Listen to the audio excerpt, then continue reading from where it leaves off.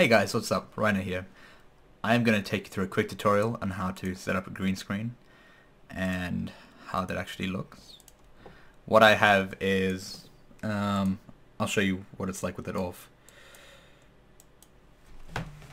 I got a $30 stand that came with green, black and white screens and then I, I actually had this which is just a nicer chroma green sheet that I hung over the top of it with the stand. And it's against the wall, so no light bleeds through, which is really helpful. Um, I used to have the green screen in the middle of my room, so the light behind it would actually affect the uh, the chroma green. What I have now is the light over there and a lamp over there, and having a light behind you onto the green screen is really helpful. What happens with me a lot is I get um, a bit of crackling over here and when this side is usually fine.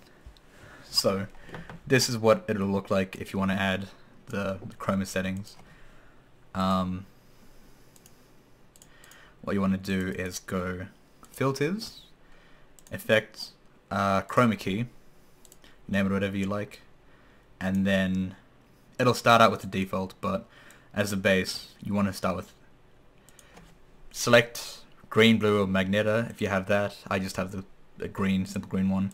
But what you can do is also select the um, tone if you know what it is. So let's just say for example's sake, I'll choose that. And then it'll get rid of all that color. Or in the same token you can do that.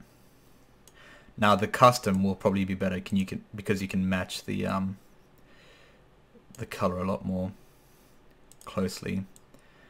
Um, if you want to spend time on that or not.